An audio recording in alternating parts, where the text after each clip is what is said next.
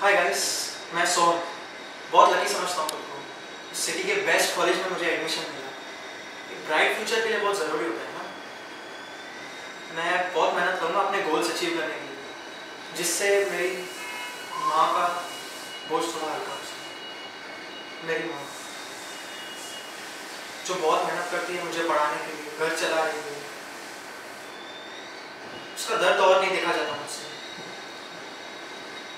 मैं कोई कसर नहीं छोड़ना चाहता अपनी माँ को बोझ हल्का करने के